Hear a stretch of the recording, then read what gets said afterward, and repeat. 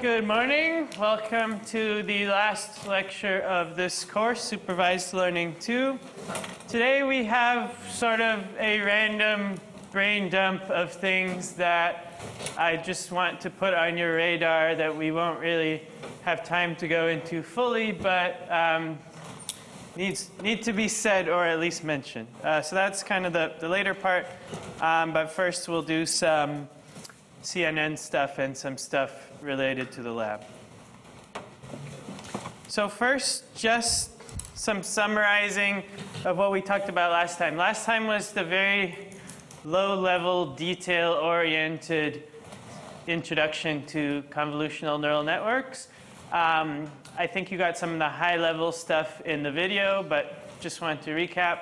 The high level is when you have these kind of signal-based inputs, so uh, time series, audio series, images, videos, all these kinds of things, then if you just tried to flatten the thing into a vector, A, you would be throwing away information about the structure, B, you would have way too many parameters, which would lead to overfitting, computational problems, et cetera, et cetera. And so these convnets make sort of a simplifying assumption that we can just look at things locally in a little window and if we learn a filter, that filter is going to be useful in this part of the image and this part of the image. Or that 1D filter will be useful in this part of the time series and that part of the time series because we're kind of sliding it around the whole signal and reusing it everywhere. Uh, just terminology, so all these things are the same. Convolutional neural network, convolutional network, convolutional net, convnet, and CNN. You may hear all of those terms out in the wild. Um, and yeah, a bunch of you, this, this caused some problems last time. This whole thing of a convolutional net is a special case of a fully connected network because convolution is a, is a matrix multiplication, and here's the matrix, all these zeros, blah, blah, blah. Um, as I said last time, I think it's good for you to know, and that can give you confidence that all the tricks we learned can still be applied, like all this gradient stuff, regularization stuff, whatever it is, we can kind of transfer everything over to the convnet world. But I think it's actually unhelpful to think that way too much. Um, and I prefer to think more the way we were thinking on Monday, which is just the data shape way of thinking. What is the shape going in? What is the shape going out? Why? Et cetera, et cetera. Okay.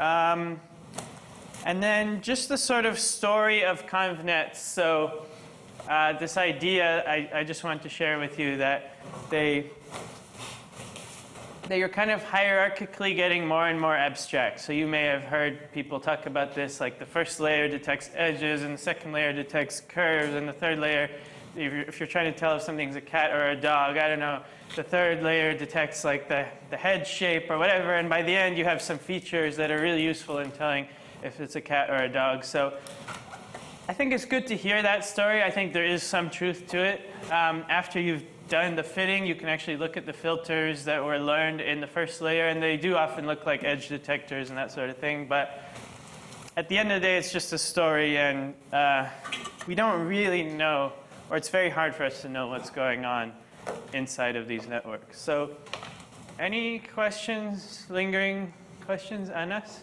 Uh, is it possible to have constraints on our filters to, so that we can particularly learn like edges and stuff like that? Is it possible to have constraints on our filters so that we can particularly learn edges and stuff like that? Well, there's a few answers. First of all, you could just do feature engineering yourself before you start, like you talked about in 573, and feed those features in. Um, but people don't usually do that. The other thing that is sort of analogous to what you're asking is actually what you do in lab with these pre-trained networks. So you could take someone else's network and just grab their weights for the first few layers, and they probably learned something reasonable because they trained it on a lot of data, and you could just freeze those and, and keep, keep those layers, and it would probably do what you want. So um, I think that's a reasonable way of going about it. I don't really see people like forcing the filters to be certain things kind of by hand necessarily. Extension. Gaurav?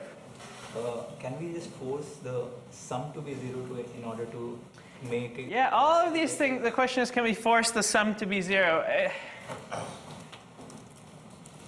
it turns out people get really good results by just throwing the network at their problem. And, and of course, a lot of the things you see in the news and stuff have tons and tons of training data. But I wouldn't recommend going down those routes. I would say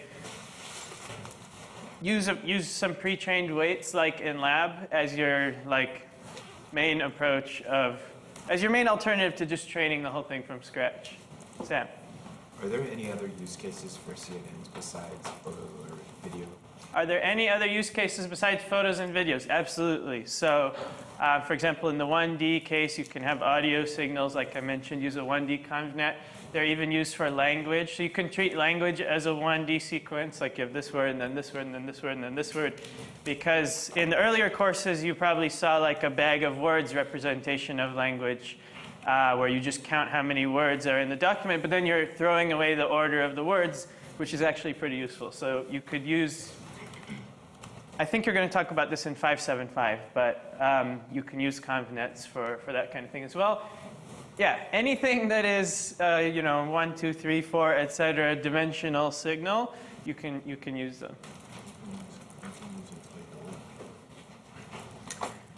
All right, so let us move on to these true false questions. So here is the first round. I'll give you one minute to just read them over on your own. Okay, what is next? Using pre-trained networks. Okay, so um, this is in the lab, so I just want to talk about it briefly. Um, in the lab, you loaded a pre-trained network and did all kinds of stuff with it. Um, I have our favorite image that you're probably very used to right now.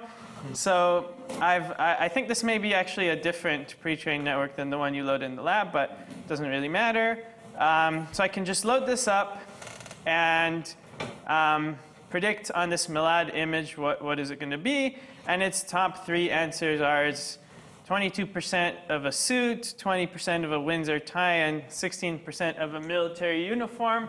My point of showing you that is in the lab, you were doing something fancier than what I just did. In the lab, you were actually loading the pre-trained layer, chopping off its head, essentially putting a new head of some dense layers at the end, and then uh, retraining those. But even simpler than that is just running it right out of the box. I didn't touch anything. I just loaded it. Those were the categories it was trained on, so those were the categories it was going to give me. And even that is a very useful thing, because sometimes maybe the task you're doing is actually the task that the pre-trained network was trained on, and then even better, you don't have to do anything. So don't feel like you have to mess with the pre-trained network to get value out of it. Sometimes, if you're lucky, um, you can just use it. So I, I ran it on, getting a little meta here. I ran it on this picture from the lecture, and it said it was a menu, a 60% probability. Um, so just to summarize the ways you can use pre-trained networks, out of the box, that's what I just showed you.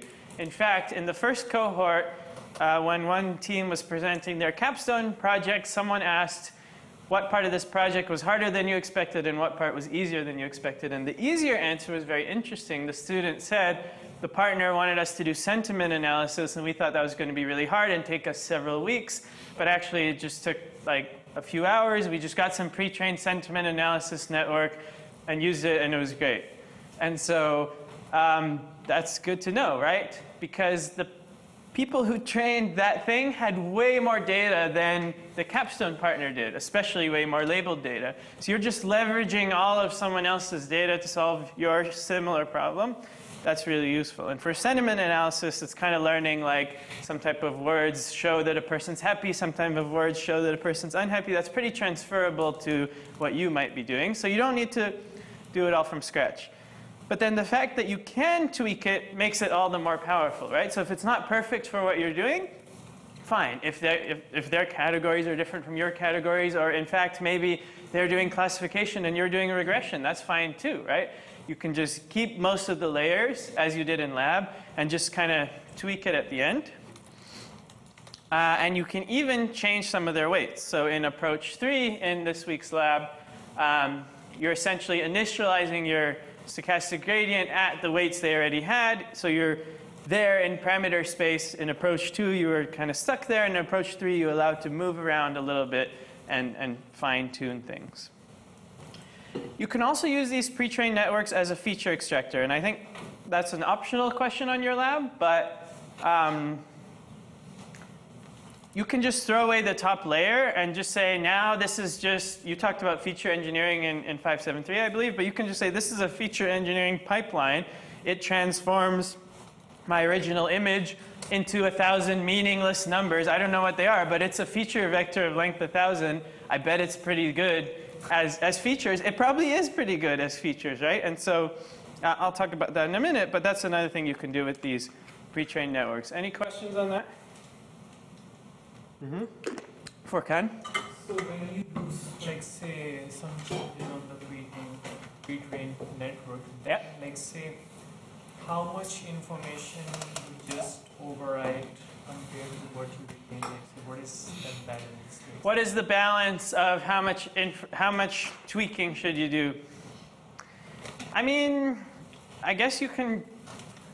I'll in general always advocate for trying the simplest thing first, and if it's not good enough, going to the fancier thing. So, like you saw in the lab, why not? Just try it out of the box. Even if that's not good enough, throw away the top layer. If that's not good enough, you consider some tweaking. But just keep in mind, those people may have had not only crazy amounts of data, but crazy amounts of GPUs and you maybe have one GPU, and there's, you might not be able to do that much computation if you unfreeze too much of the network. So that could definitely be limiting you, but it's worth a try.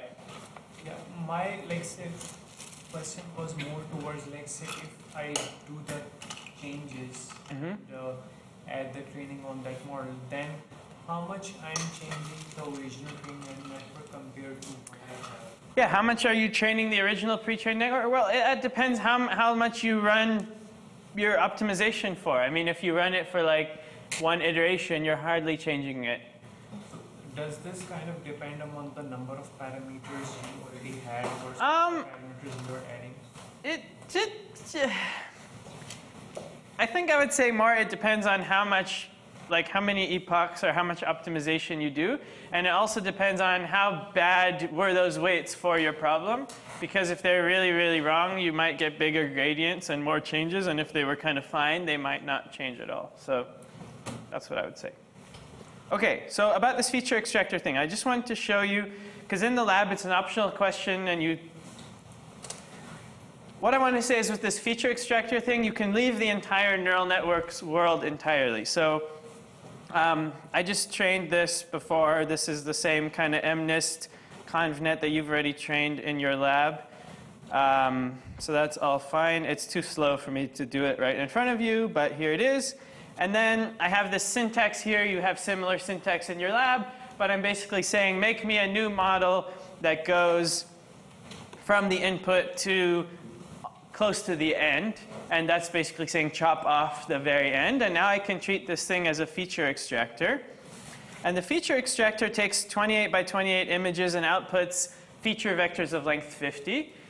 And I just want to emphasize, I can do anything I want with those feature vectors of length 50. So here I've used that to transform my train and test. Um, but I could actually use a random forest on those transformed features. I it doesn't have to be a neural network. So you can simply say that's a feature extractor. I'm going to do anything I want with it. And no, you can't do the like fine tuning thing exactly the same way here because it's not really neural networks anymore. You're not even using TensorFlow anymore. But I just want to point out the feature extractor can be very general purpose and you can do whatever you want with it. Questions?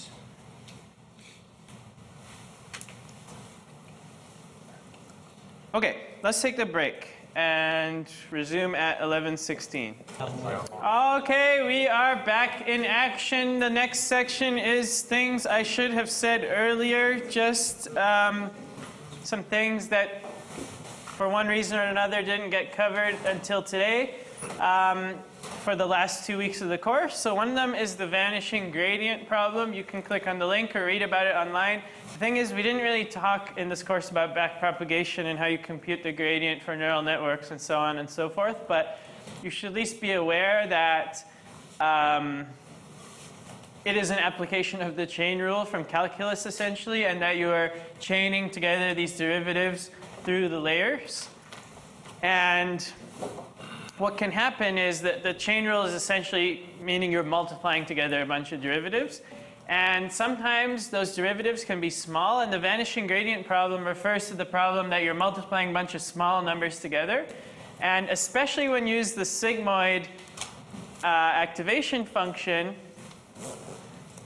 if you think about a case where your activation before coming in here is very big or very small, then you're in a part of the activation function that's very flat, and the derivative is very small.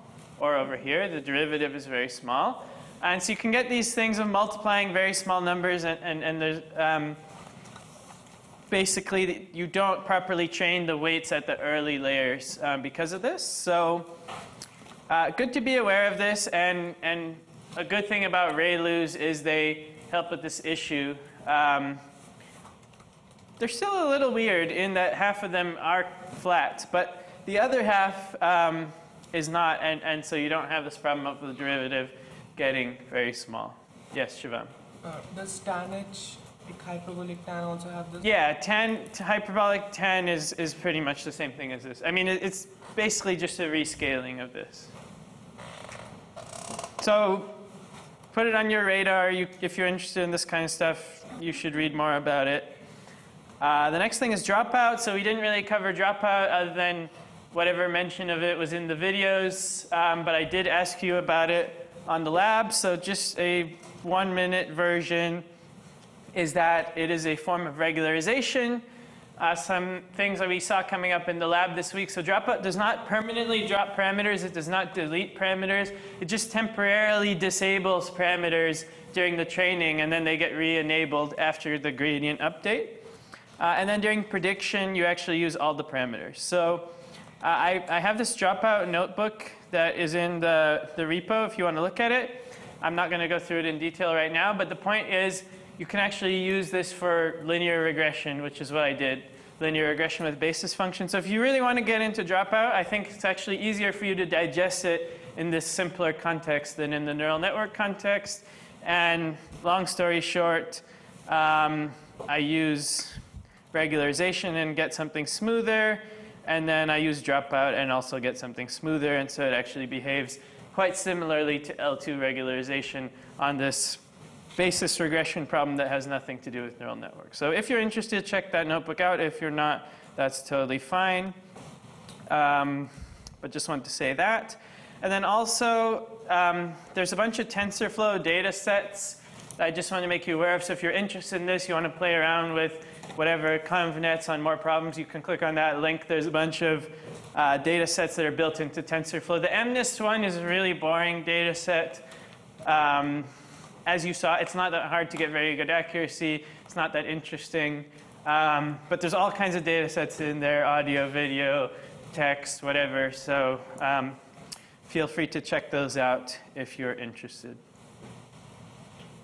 Okay, next thing. So yeah, this is the part of the lecture where I'm just sort of spamming random things that I wish we had more time to talk about. So um, the next one is, is fit generator. So a very common problem is that your data set does not fit into memory. I would not be surprised if some of you encounter this in your capstone projects if you happen to be using deep learning in your capstone projects, is you have a terabyte of images and you're supposed to learn from that terabyte of images, and you can fit your, a terabyte on disk, but you can't fit it into memory, at least on your machine. Maybe you can get some super high memory machine in the cloud and, and get it done, but often you can't actually fit the data into memory. And so everything you've seen in the last six months was all about fitting into everything into memory. You would just load your x and y, and bam, you had them right there in Python, right? Your, your environment wasn't crashing and saying out of memory, hopefully. But that could easily happen. And the beauty of the situation is that stochastic gradient actually allows us to get around this problem. Because with stochastic gradient, you don't need all your n training examples in your possession at any given time. You can, if, you're, if you have a billion examples, you can just load a thousand of them from disk into memory. That's your batch size, a thousand. Do the update. Because the thing is, you can fit the weights into memory. That's typically not the problem. The weight's going to be much smaller than the training data. So you can fit all the weights into memory, a bit of data, use that bit of data to update all the weights, trash that bit of data, load another thousand examples from disk, do another mini batch update. Um, and it's a super, super common thing. And I just, I don't want you to get stuck not knowing about this and saying, oh, I can't, it doesn't fit. I'm going to go home. So um, if you recall, we talked about generators in the algorithms course. One of the reasons I wanted to talk about generators in the algorithms course was precisely this.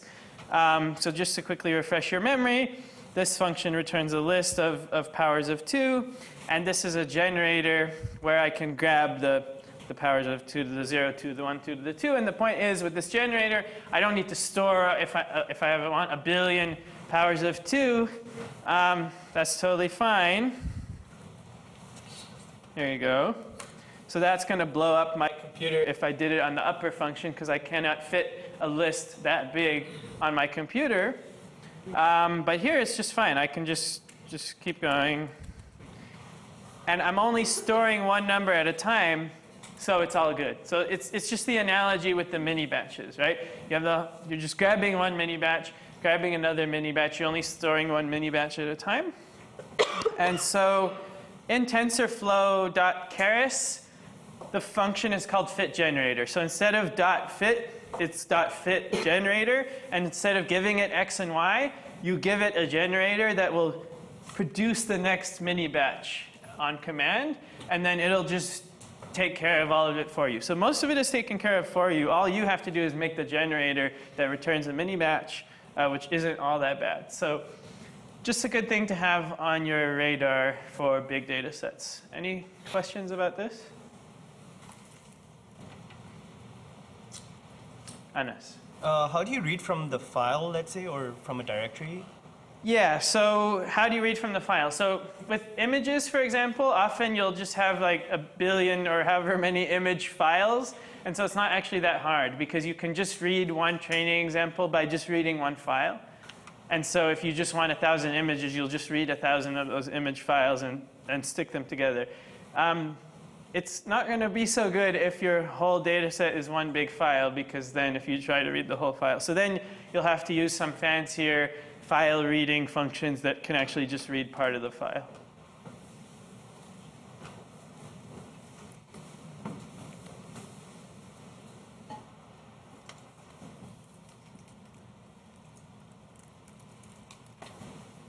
Aman. Uh, and if it generator your like the, the number of images that you are passing that will be equivalent to your batch size. Yes.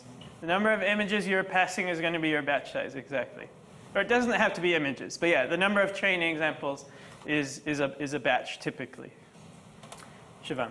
Uh, does TensorFlow model save data along with it, like the model object? If you want to save it on disk, will that save the data itself? Or? Yeah, no. So when you save the model, and you may have seen that in the lab, I had a commented outline where you were saving them. Yeah, that just saves the weights. It doesn't save all the data. Because the weights are all you need to make predictions. So the point of saving the weights is you want to deploy this somewhere. You just want to be able to make predictions. You don't need the data anymore. So in case of fit as well as fit generator, both of them data is not saved. Correct. The data is not saved in the model object. Okay, a bunch of random things about deep learning. So, um, visualizing filters. So I've mentioned this briefly. It's just there seems to be an obsession with visualizing filters. It is kind of nice. You can see this in research papers and stuff. Hey, I trained this CNN. Look at the filters. They look like edge detectors. And people love to connect the whole neural network thing back to its origins with the brain and neuroscience. And so they'll say, oh, look, this is a type of filter using the brain, like Gabor filters or whatever, and then these, look, the ones we learned are very similar to those. So, um, yeah, people like to do this. It's fine with me. Um, next thing, famous architecture. So you, for example, just in the lab with the pre-trained network, I think we were loading a VGG net or a ResNet or something. So just so you know, every couple years there, there's like the thing that, that is the new architecture. And so it's, it's usually, when I say architecture, it's usually more than just this many layers and this many units. It's like they have some special sauce that, that makes it work better.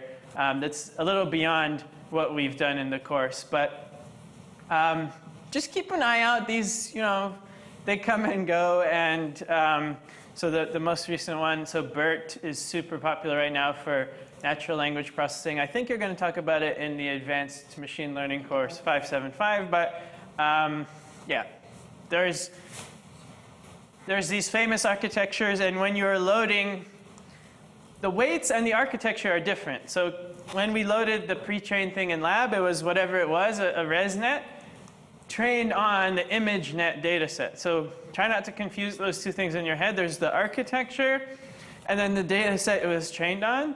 And you should be aware of both of those things if you're using a pre-trained network, because if the architecture is meant for language, like BERT, and you're doing videos, don't use BERT. It's not going to make sense. But then on top of that, actually look at the data set it was trained on because if the types of images are like completely different from the types of images you're using, like if you're working on satellite images and it was trained on pictures of dogs, it's probably not going to work.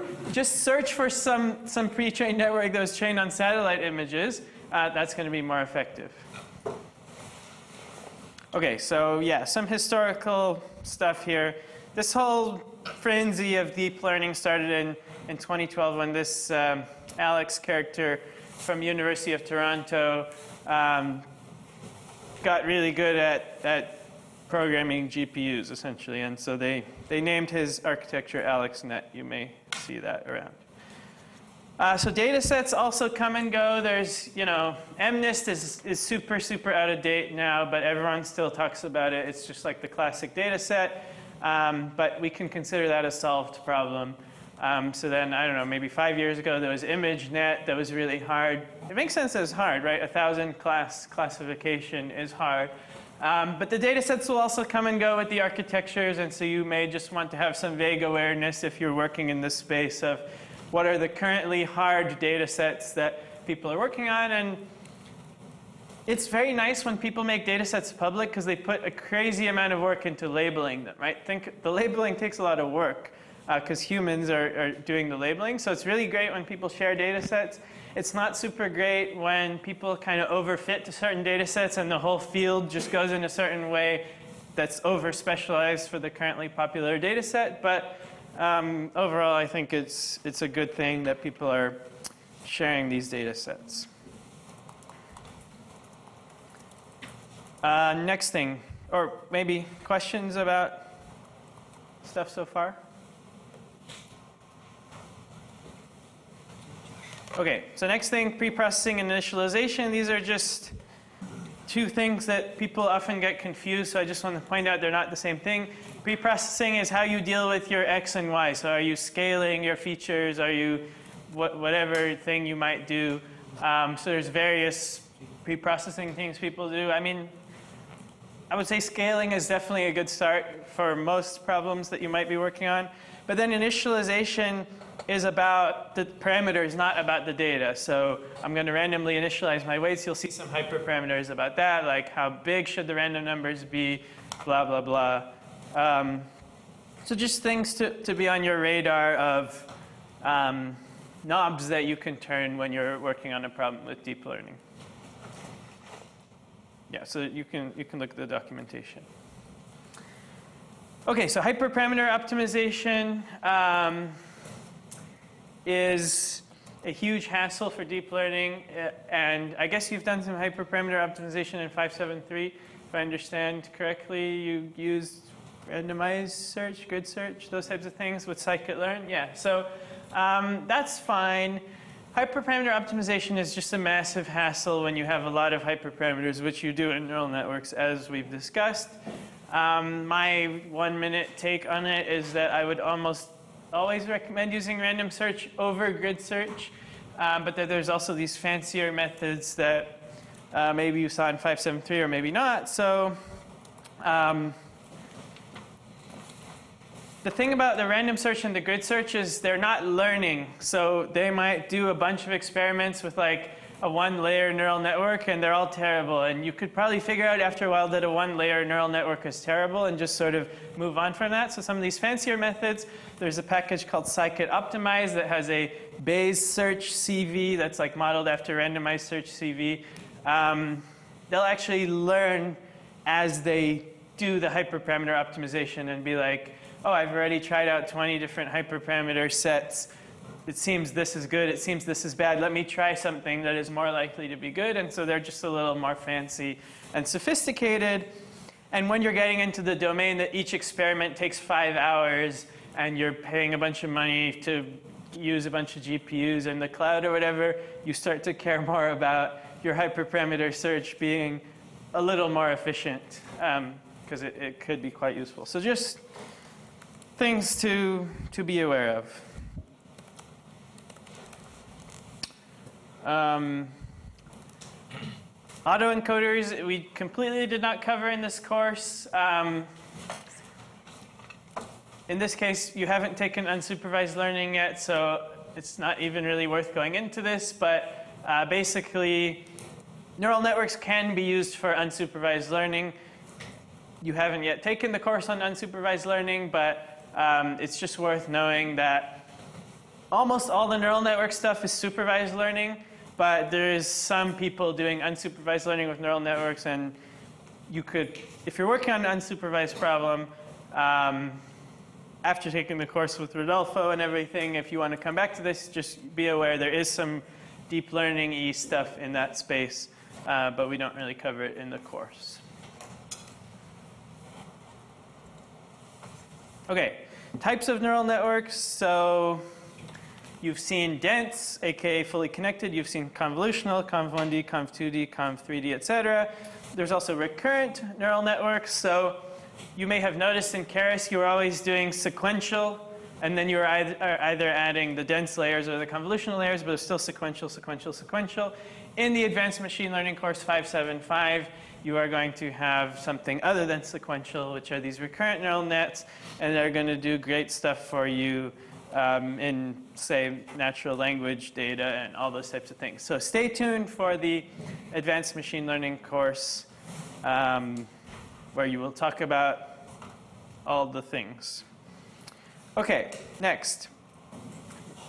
GPUs and parallel processing. I know this is like light speed, very shallow, but I just want to get these things out there.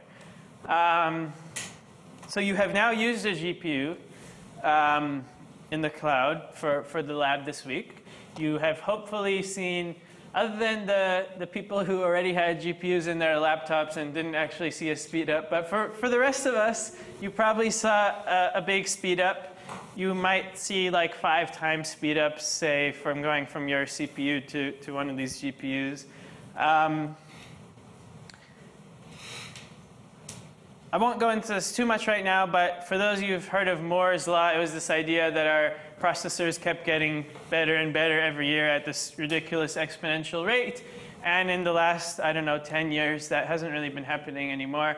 And distributed and parallel computing is like the new thing and the way people are really pushing to bigger and faster computations. And so we actually did two things. We used the GPU and the GPU was in the cloud. And those are separate, right? You could have a GPU on your local machine. You could have a CPU in the cloud. So in the web and cloud computing course in block six, you will do more cloud stuff. And that's just a whole big and really, really important subject um, because say you're doing hyperparameter optimization with randomized search CV, you can do, if you have 100 machines, you can do 100 things at the same time. Those have nothing to do with each other. They're independent experiments. So um, yeah, the cloud thing is really good and the GPU thing is really good.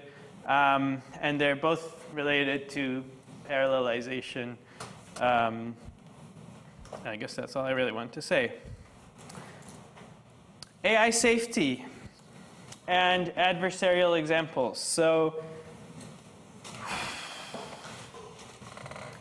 you do have an ethics course coming, uh, the privacy, ethics, and security course, but that is three enormous topics, privacy, ethics, and security, all within four weeks. Um, so we can't cover everything in that course, but within the kind of security and safety, there's this like deep learning safety sub area, which I would like you to at least be aware of. Um, so I have a couple of links. Let me see if I can. So I linked to this blog post and this paper. Um, basically, someone took a reasonably good neural network, gave it this image, and then it was 57% confident that it was a panda. And then they added a imperceptible amount of noise and made it 99% confident that it was a gibbon. And you can make it think it's a toaster and a refrigerator. Like, it's the more you read into this, the more disturbed you're going to get about how fragile these deep learning systems are. If you did logistic regression on your problem and then you kind of messed with your inputs a tiny bit, you're probably not going to get a super confident, completely different output. And we kind of understand how logistic regression works, right? It's like this weighted sum. So, I mean, I change my feature a little bit, I multiply that change by the weight, and I change my output a little bit, and it's all good. But no one really understands how these neural networks work, and they can do very weird stuff. And no, these people did not pick that imperceptible noise randomly. They actually used optimization to find the imperceptible noise that would most derail the predictions. But still, even the fact that this is possible is super messed up. And so this is, I don't know, what, three years ago or something, this blog post, but um, this paper is more recent, and I, I linked to it as well. So let me see if I can find the. Yeah, so, so basically, what people are doing is um, making these stickers, and you can, you can look this up online as well, making these stickers, and they actually have a camera with a deep learning system hooked up to it, and they point the, the camera at the toaster, and it says the toaster, and then they stick the sticker next to the toaster, and it says it's something completely different, like a truck or whatever. And so these are the stuff from a few years ago, it's kind of cheating because the authors had access to the code and could optimize for the, the noise, and, and that's not a realistic scenario. But the newer things are even more disturbing because imagine a self driving car using a CNN and it sees a stop sign, but some evil person had just put a sticker on the stop sign and now the car thinks it's a green light. That's very worrying. And again, it all comes down to the fact that no one really understands how these neural networks work. And I mean, sure, we know what it does, but there's so many layers and weights and weird things happening that we can't we can't accurately understand what if we change the input a little bit, how is that going to change the output? It's just too complicated. And so I do think I think AI safety has a bad name because there's all these people talking about like those robot movies where the robots try to kill the humans and I think that's actually very damaging because it takes away credibility from people talking about the real problems, which I think do exist, which are not conscious robots coming and killing all the humans, but more like technologies we don't understand intersected with nefarious humans who are trying to cause harm. And that's the more like uh, immediate thing that we're going to have to deal with. So um, who knows, right? I, I, it's, it's an important issue. Uh, people are working on this. People are trying to work on interpretability. I think interpretability is going to be a growing field within deep learning of like, well, how do we understand what these things are actually doing? And I, in the README of the course, I've linked to some posts and articles about interpretability. You can check those out if you're interested as well. But um, it's, it's an interesting topic. Any questions or comments about all that?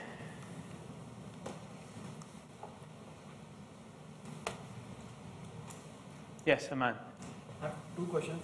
One is how do we save our uh, deep learning models? Will it be same as we use or Oh, how do we save our deep learning model? So um, yeah, you, you can save them. It might not be a pickle, but it'll be some format. Um, in Lab 3, I actually have a little note about it somewhere, and I have the code commented out, but you, you can find that somewhere in, uh, sorry, in Lab 4. Yeah, you can save the weights to some kind of file and then load them again later. Okay. And, and second is uh, the GPUs we use them only for training and not for prediction. Oh, good question. Yeah, the, the question is GPUs, do we use them only for training and not for um, prediction? So here's the thing. Other than some weird stuff like k nearest neighbors, most of the time prediction is way faster than training. So it's more that prediction may be fast enough that we just don't really care. And so we use a CPU because why not? but yes, using a GPU for prediction is possible, and it would be faster than using a CPU for prediction. It's just we might not care that much about it being fast. Or, but, but in some applications, you might too. It just depends on the problem. NS. Uh, real quick, uh, is it possible to solve problems like these through ensembling like different deep learning models and like predict taking like the average from? Ensembling different deep learning models. Um, you cannot you can ensemble anything. It's just th- they're such a pain already. The hyperparameters, it's slow. Like the last thing you want to do is train and tune five neural networks instead of one. So sure you can, but I think you're going to find it unpleasant. And I just talked about dropout. There's some there's a story with dropout that is kind of like ensembling a bunch of neural networks. Um, it's not exactly that, but it kind of has the flavor of that. So yes, there's nothing stopping you from doing it other than the, the inconvenience of doing it. Okay, four more minutes. So um, what else didn't we cover in this course? Um, a whole bunch of things. Here's a list of them. Um, let me at least say two minutes worth of this last topic. You can read over this later. It is an important thing for you to think about. You're going to try something you learned in MDS and it's not going to work, and the question is what next? And you have some tools to think about that. Am I overfitting? Am I underfitting? Do I have problems with the data? Do I have problems with the hyperparameters? Do I have problems with the model? Do I have not enough data? Do I have data quality problems? Um, do I have missing data problems? You talked about that today with Rodolfo, I know. So there's, I have below, and you can refer to it later if you want, just a list of all the things that might be going wrong for you to think about. But for this course particular, it's just there's this very important big thing to add to your list of what the problem might be, which is the optimization. Because now we had this non-convex loss, we had all this random SGD stuff. There's always this nagging feeling in the back of my mind that maybe everything's fine and I just need to run another 10 epochs and everything will be great. And there's no way of really knowing um, if, if that would be a good idea or not. So um, that is just a massive pain, at least for me, when I open this can of worms and start using deep learning, because it's so hard to debug already and, and, and come up with better machine learning models, and you just have this whole extra category of problem to deal with, and it's pretty hard to figure out um, what problem it is you're dealing with. So I just wanted to say um, that that is another issue that you need to worry about when using deep learning. So what do I have here? Um, yeah, or maybe I'll just say this, like, if you get 90% validation error on the problem, it may be that it is impossible to do better than 90% on that problem due to the nature of the problem. It's just there's too much randomness in the output. That's another frustration with all the supervised learning. You never know, could, is there something better? Or maybe actually I've already reached the best thing that you can have, and that's just there isn't really a way around that problem, but it is a frustration we have to deal with.